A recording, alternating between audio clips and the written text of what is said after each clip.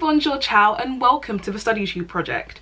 I hope you guys have been enjoying the videos we've given to you so far and are looking forward to what we've got planned for you next. In this video, I wanted to tell you guys a little bit about the human body, the focus being our hands. We use our hands every day. And a lot of us use our hands without even thinking about it too much. So, I wonder how much you really know about these amazing tools. Plus, I'll even explain some interesting medical terms throughout the video. The skeleton of our hands is comprised of 27 bones. 27 bones! That's a lot. The bones that make up our wrists are called carpal bones and there's eight of them. They are arranged in two rows. A proximal row which is closest to you and a distal row which is further away.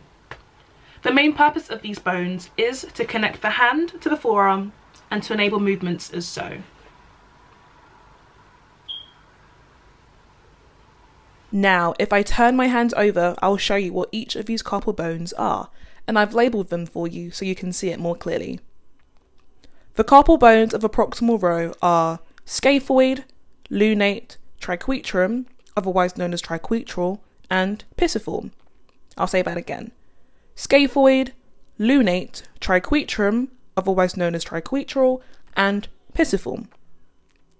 The carpal bones of the distal row are trapezium, trapezoid, capitate, and hamate. And again, trapezium, trapezoid, capitate, and hamate. Why don't you try and identify the bones of the wrist on your own hands? Have a feel for your scaphoid bone, which is the largest bone in the proximal row. Maybe even hamate, which has a little hook. Have a go at trying to find pisiform, which is a small round bone above triquetrum it'll feel like a little bump. Cool, right? Now, I'm going to try and say all the bones of the wrist again, so try and see if you can remember their arrangement with me. So, in the proximal row, scaphoid, lunate, triquetrum, and pisiform. In the distal row, trapezium, trapezoid, capitate, and hamate. And that's the carpal bones done. The remaining bones of the hand are a little easier to remember, there are five metacarpal bones which articulate with the bones of the wrist. This simply means that they are joined. There is a metacarpal bone for each digit and they are labelled 1 to 5, with 1 being your thumb and 5 being your pinky finger. So, 1, 2, 3, 4, and 5. And that's it for the metacarpal bones. And finally, we have 14 phalanges, which make up our fingers and thumb. Every digit, except for your thumb, has three phalanges. They are named according to their position proximal, middle, and distal. In case you forgot, proximal means closest to you, and distal means furthest from you. And middle, well, middle means middle. Your thumb only has two phalanges, proximal and distal. And yeah, that's it for the phalanges.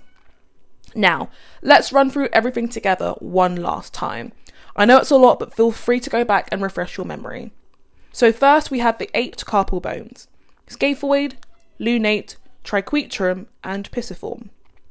Then we have trapezium, trapezoid, capitate, and hamate.